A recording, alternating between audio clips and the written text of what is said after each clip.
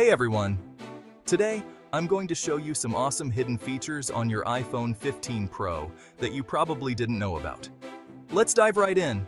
First up, we have the Back Tap feature. Go to Settings, then Accessibility, and tap on Touch. Scroll down, and you'll find Back Tap. You can set it to take a screenshot, open the camera, or even launch shortcuts just by tapping the back of your phone. How cool is that? Next, let's talk about the new Action button. This replaces the old mute switch and can be customized for various functions.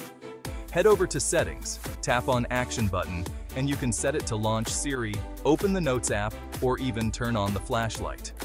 It's super convenient. Now, here's a quick one. Did you know you can use your iPhone 15 Pro as a ruler? Open the Measure app, and you can measure objects in your environment with augmented reality. Just point your camera and bam, instant measurements. If you're into photography, you'll love this. The iPhone 15 Pro has a new Pro RAW mode, which gives you more control over your photos. Just go to Settings, Camera, and toggle on Pro RAW. You'll now have the option to shoot in RAW format, giving you more flexibility in post-processing. Lastly, let's not forget about the hidden trackpad feature on the keyboard. Press and hold the spacebar, and voila! Your keyboard transforms into a trackpad, allowing you to move the cursor more precisely.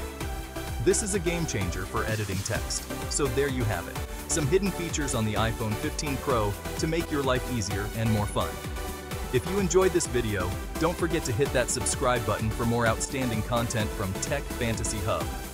Thanks for watching, and I'll catch you in the next one. Ut.